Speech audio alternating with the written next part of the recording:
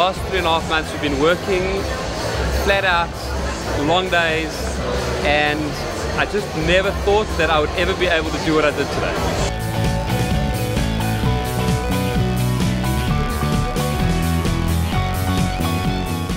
Highlight of the event was just seeing how far the startups have come during the program. Uh, I saw most of them pitch about two months ago, uh, and just the growth that they've achieved since then has been really awesome. Uh, and really just seeing how comfortable they are, and uh, the partnerships that they've made, and, and just the growth that they've achieved.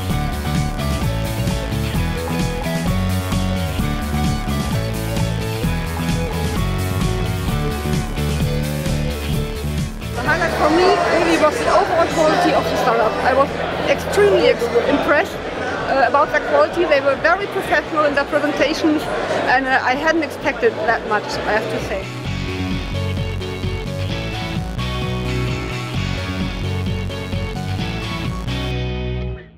It was great seeing the guys uh, express their three months of hard work and doing so, so well on stage. Yeah, the way they articulated the value that the business brings to consumers, to their market, I think uh, was second to none. People really got what the business was about and they really got the value it can bring to, uh, to industry.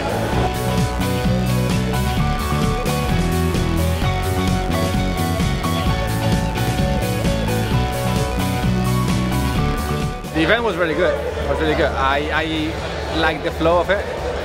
never stopped. So it was like something happening all the time. I like it. Yeah, I liked it.